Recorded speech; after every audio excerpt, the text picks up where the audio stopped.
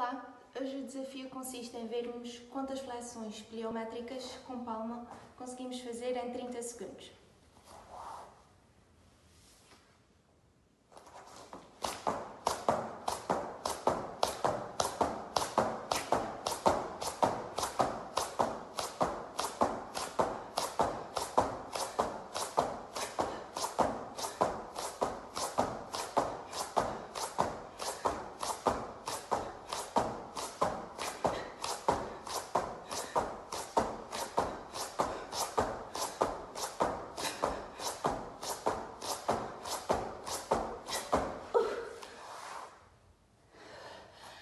50.